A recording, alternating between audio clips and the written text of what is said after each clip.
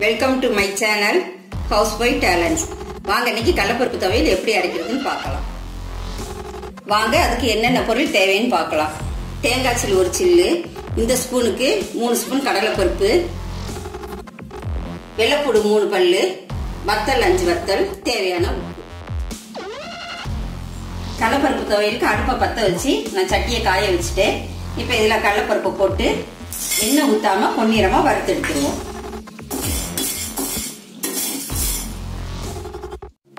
கடலப்பருப்பை இந்த பக்கத்துக்கு பொன்னிறமாக வறுத்து எடுத்துக்கோங்க. கடலப்பருப்பை பொன்னிறமாக வறுத்து ஜாரில் போட்டு வச்சுருக்கேன். இப்போ ஒவ்வொரு பொருளாக நம்ம ஆட் பண்ணுவோம். வத்தல் பூண்டு தேங்காய்ச்சில் தேவையான அளவு உப்பு. சுவையான கடலப்பருப்பு துவையல் ரெடி இந்த துவையல் வந்து ரசம் சாதத்துக்கு பெஸ்ட் காம்பினேஷன் தேங்க்ஸ் ஃபார் வாட்சிங் திஸ் வீடியோ இந்த வீடியோ உங்களுக்கு பிடிச்சிருந்துச்சுன்னா லைக் பண்ணுங்க ஷேர் பண்ணுங்க கமெண்ட் பண்ணுங்க. மறக்காம பக்கத்தில் உள்ள சப்ஸ்கிரைப் பட்டனையும் பெல் ஐக்கானையும் ப்ரெஸ் பண்ணுங்கள்